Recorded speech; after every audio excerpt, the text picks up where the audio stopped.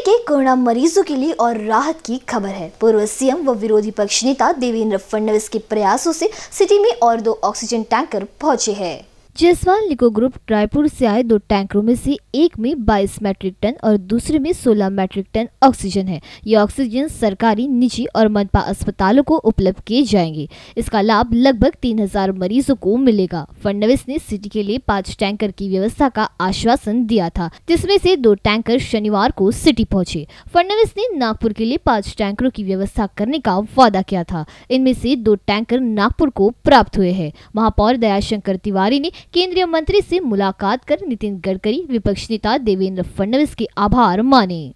Camera person राजकुमार मोहर के साथ Kshitija Deshmukh B News Nagpur.